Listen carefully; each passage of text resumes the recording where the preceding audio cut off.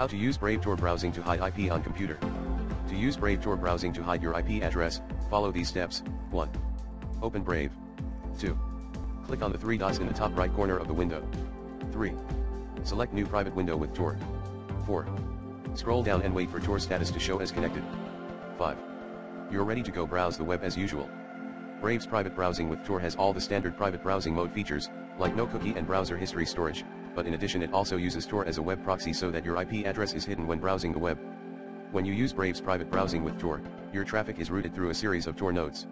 This makes it difficult for anyone to track your online activity. Note that Brave's private browsing with Tor is not a perfect solution. It can be slow and some websites may not work properly. Additionally, your ISP may still be able to see that you are using Tor. If you are concerned about your online privacy, you may want to consider using a VPN instead of Tor. VPNs offer a higher level of security and anonymity than Tor. However, VPNs can also be slower than Tor. Ultimately, the best way to protect your online privacy is to use a combination of different security tools and techniques.